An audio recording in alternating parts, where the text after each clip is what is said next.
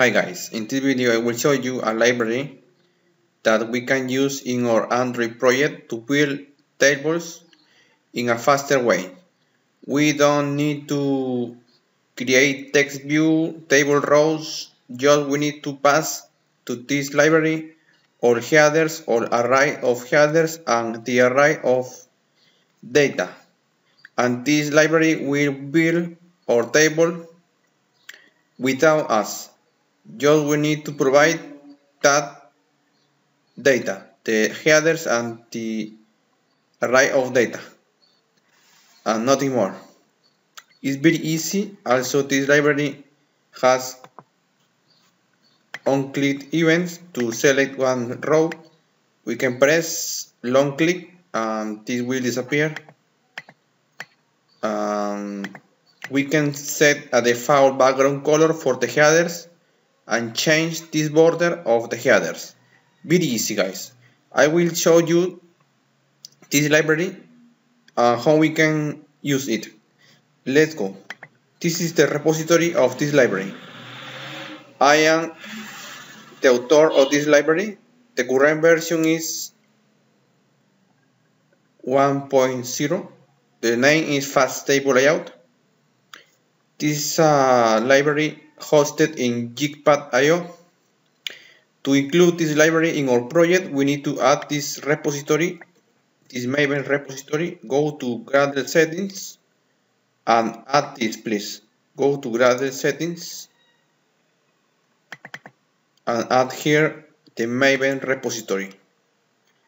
Set this Maven URL here as I I I did it. You can see here then add in your Gradle or your app application this library. This is the implementation. You can copy this from the GitHub repository of this library. Copy this and paste here and sync your Gradle. This will download the library. Sorry, there is a problem. I need to execute as administrator my Android Studio because the problem. Sorry for that problem guys. I will execute this as administration and the problem of the Gradle will disappear. Now I'm going to sync my Gradle again and the problem will disappear.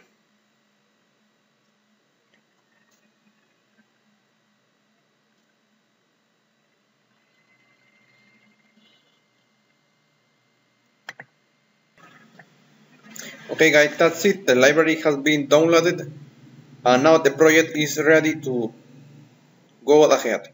Okay guys, the first step is add in our layout.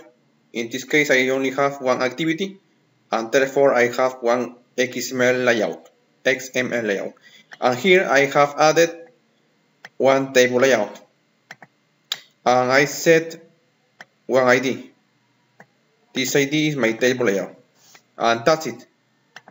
Um, then we need to build this.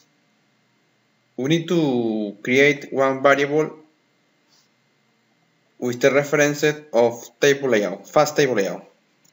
Val fast table equals to fast table layout.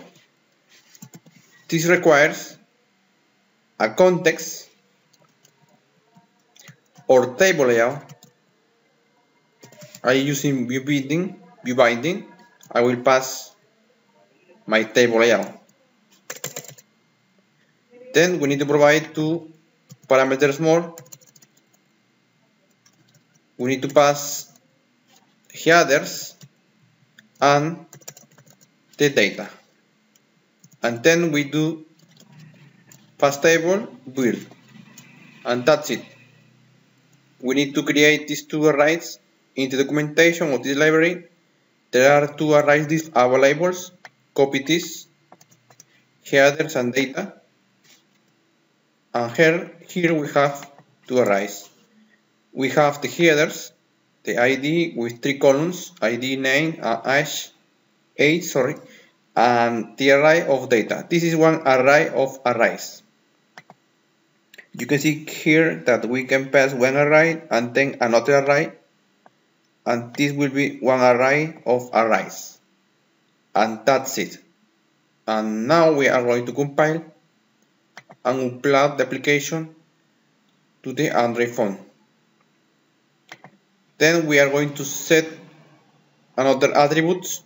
We are going to use this attribute to change the header color background and text size and we can use two, two methods to change the to set a custom background to the headers or use another method to set a custom header to the borders to the to the headers. Set a custom border to the headers. Sorry. Um, and here there is another way to create one array of data this way will be will be useful when you have a list and you need to fill one array from data of the list. You need to iterate in a for loop or just iterate your array and, uh, and add items to your array of this way. Okay, the application has been successfully installed. I will open my visor. You can see here guys that this is the application. This is a default table, okay guys? This is the default styles, this is the default. You can do click on click event and undo using long on long click. And here's the table. I will use the second wave to create one array of data. I will set this array here and you will see that there is no problems. Now I only have two two items. I, I will compile again. And the app will be launched again. But now we are going to have rows. You can see that there is no problems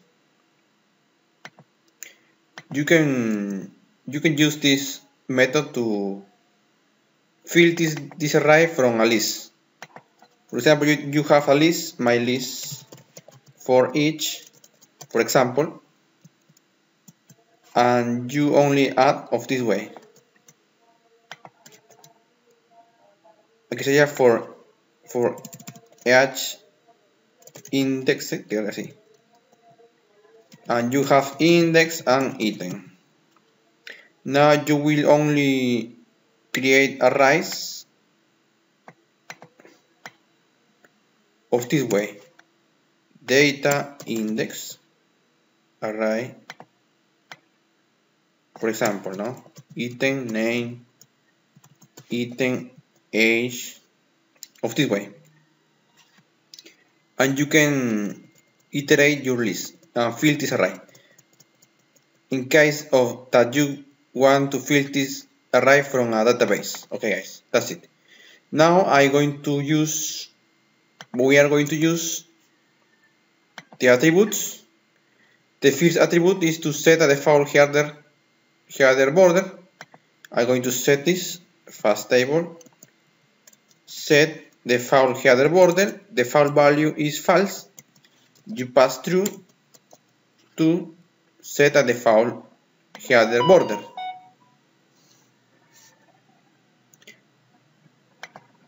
I'm going to wait a moment and now we have the table with a default border you can see here now we can change we can use also a default background color for the borders according to documentation you can set this constant this attribute default value is false and default value is gray. Default color value is gray. We are going to launch again.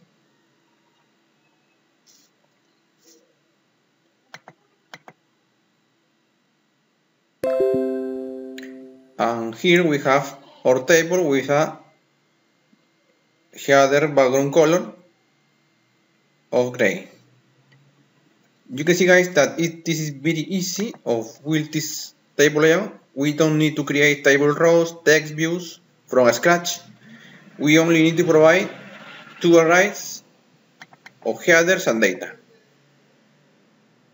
Now we are going to use a custom header border for to do that we need to call this method set custom border to headers and this requires a drawable. drawable. I will use r drawable table border. This table border is a shape drawable is a rectangle shape with a border of color red, red, red. This is red color. Basically is one shape. I will use this in case that I need to pass a custom border to my table and you can see now that we have now a different border color basically it is a rectangle shape now we can change we can also pass a custom background color for the border, for the table row, of the field row, of the headers. Set custom, call method set custom background to headers. You pass a color, for example this color, this is a default color from Android, colors. And now we are going we are going to have a, a custom background to the headers for the headers. You can see guys that now we have a custom background color for the headers. You can provide any color that you want. Don't worry, you can change it. You can change also the text size. I will set, I will use the default border and the default background color for the board, for the board, for the headers. And now we are going to change the text size. This attribute to change the text size. The default value is 14. We, if we need to change this, just call your variable and call this attribute table text size, for example, and change now to 25f.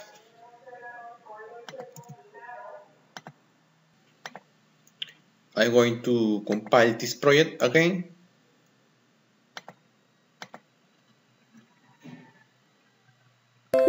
Now the text size for the table will be more more higher. You can see guys. Now we have a big text size. If you want to change it, just call this this attribute and set a value. Always put a F letter at the end of the number. Don't forget that. Okay guys, I hope that this tutorial was useful for you and I hope that you have learned something new. Um, I have presented you a library to create a, in a faster way a table. You just need to add this repository and do and then add this implementation in your Gradle file.